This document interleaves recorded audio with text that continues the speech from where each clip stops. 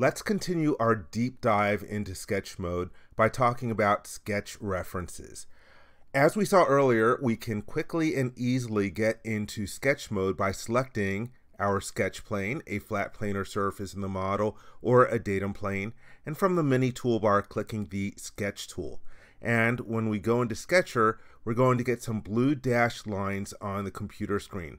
Those are our sketch references. In other words, when I sketch geometry, like a rectangle, my sketch is automatically going to be dimensioned with respect to my sketch references. Also, when I'm sketching geometry, this time I'll use my right mouse button to get to the pop-up menu. If I sketch a line, it allows me to snap into those sketch references. So again, Creo Parametric is going to suggest some sketch references to you. Let me get rid of that geometry. If you want to access your sketch references, there is a references button on the dashboard, or you can right mouse click and hold and from the pop-up menu, choose references. And here I see that Creo Parametric has suggested some datum planes for me to use as my sketch references, but I can select other references. For example, maybe I want to select this surface as well. I can go and select this surface too. I can select as many references as I want and then click the solve button. It says that I'm fully placed. But you want to be careful. You don't want to add too many sketch references because all those references will automatically become the parents of your new feature. And so you want to choose your parents carefully because that will end up impacting how stable your feature is later on. And by the way, if you add sketch references and don't actually use them in your sketch, Creo Parametric will automatically remove them from your list of sketch references. Okay, another thing that I want to show, let me clip the model because I'm sketching in the middle of the part. And there is a curved surface over here. And if I were to try to add that to my list of sketch references, you'll notice that Creo Parametric isn't even picking it up because it is curved.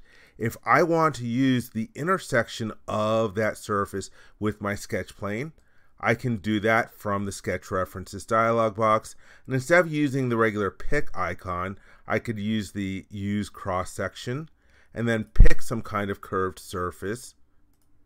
And that gives me the intersection with that curved surface and the sketch plane to use as a sketch reference.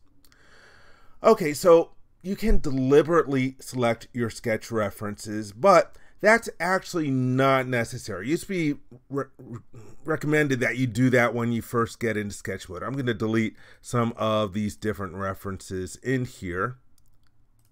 You can add to your list of sketch references on the fly. First off, if I sketch some geometry, let me sketch let me go back to my sketch orientation. Let's say that I sketch a rectangle again up here, and then I try to dimension it from something that's not in my list of sketch references. Creo Parametric will automatically add that to the list of the sketch references. Let me change from shaded mode to wireframe mode for a second, just so hopefully you can see that there is a blue dashed line there indicating that we do have a sketch reference. And if I go to my references dialog box, you'll see that it added that edge in there. And one thing to note, when you have the ability to select a surface instead of an edge, that's recommended because surfaces tend to be more stable than edges. So for example, let me delete that sketch reference. And when I am dimensioning, I'll pick this and then pick the surface in middle mouse button. And now when I take a look at my sketch references, it's going to the surface instead of the edge. Another thing to note, if you use your Alt key, you can add to your list of sketch references as you're working. So for example, let's say that I am trying to sketch a line and I can hold down the Alt key and pick some surface and it adds a sketch reference and then I can lock into that. That is available in all versions of Creo Parametric, but actually Creo Parametric 4.0, it became unnecessary because there is an option. If I go to File Options and then Sketcher and scroll down in this dialog box, there's an option Allow Snapping to Model Geometry. that makes it very quick and convenient. So again, I don't have a sketch reference over here. Let's say I go to sketch a line. If you just hover your mouse over an entity, you'll notice that it's highlighting. And then if you click on it, that'll allow you to create your reference to that particular entity. Same thing if I go over here, if I want to snap it into this edge, as I move my mouse over it, it highlights and then I can left click again. And so now I've got the entity snapping into both locations. All right, let me go and delete that and just want to show a couple other things in the references dialog box. So if you have an entity in here that you don't want to use, you can hit the delete button.